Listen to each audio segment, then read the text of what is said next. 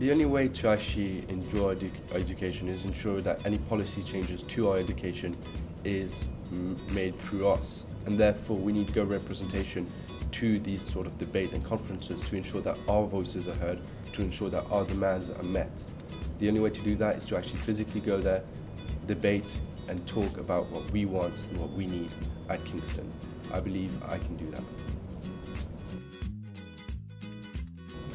I have past experience in public speaking and conferences and debate where I ran my own um, policies and managed to get them through.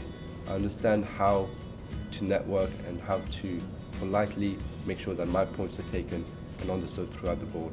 I want to ensure that our voices together are heard at this conference and that changes can be made successfully for a better education and a better social life at Kingston University.